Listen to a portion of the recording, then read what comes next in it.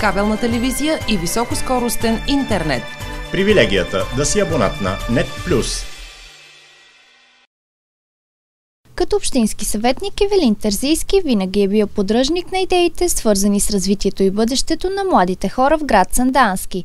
Точно такава е и новата му идея, свързана с изграждането на младежки център. А какви са основните му мотиви за този център, вижте сега. На последното редовно заседание, по време на обсъждане на една от точките, когато ставаше въпрос за отдаване на помещение в сградата на така наречения бивши околийски съвет, който се намира зад нас, аз направих предложение в тази сграда да се създаде младежки център, който да бъде място, в което да се превърне в дом на младите хора в града. Каква е нуждата от създаването на такъв център Сандански? Сандански няма а, младежки център. Вярвам, че младите хора в града трябва да имат свой дом и свое място, в което да се събират, да създават идеи, да подпомагат общинска администрация и да създават доброволчески инициативи. И затова съм убеден, че това е правилното място. Ще бъде и добър пример за стопанисване на общинска собственост. Близо е до централната градска част, така че съм убеден, че това е правилното място. Изцяло ваша инициативата от какво е провокирана обаче? Провокирано от това, както казах, че младите хора нямат свое място.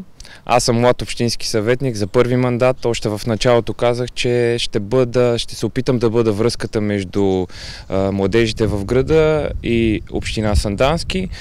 Това е така дългогодишна моя мечта, още когато аз бях ученик и студент.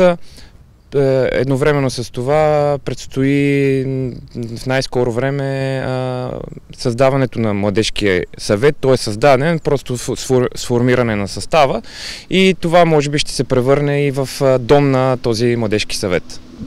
До какъв етап на развитие е стигнал този младежки съвет? Младежкия съвет в момента, доколкото съм запознат, училищата и неправителствените организации а, изпращат а, своите кандидатури, участници в, за този съвет и до седмица-две, надявам се, COVID обстановката да позволи да бъде сформиран. Той ще бъде за лица до 18 години?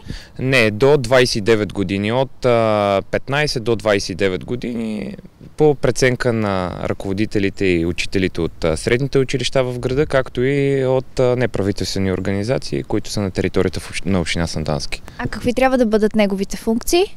Неговите функции подпомагане на общинска администрация в младежките политики, организиране на доброволчески инициативи и въобще създаване на общинско на активно младежко общество в общината. Сградата, която според Ивелин Терзийски ще бъде идеалното място за младежки център, се нужда от голям ремонт. Именно заради това при разглеждането на бюджета за 2022 година той ще предложи гласуване на средства за ремонт на сградата. Кабелна телевизия и високоскоростен интернет. Привилегията да си абонат на NET+.